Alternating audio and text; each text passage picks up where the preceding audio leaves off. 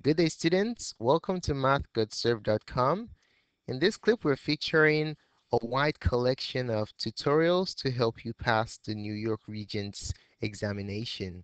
So all you just have to do is just click on any of these links to gain access to um, the course content to prepare you for the exam.